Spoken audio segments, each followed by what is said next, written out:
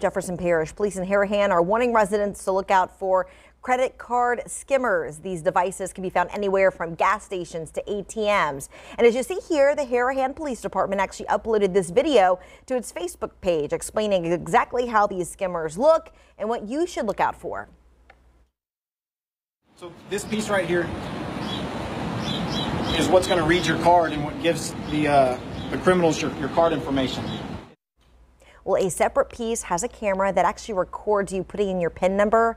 The Harahan Police Department recommends pulling on the card insert slot just to make sure that a skimmer is not installed.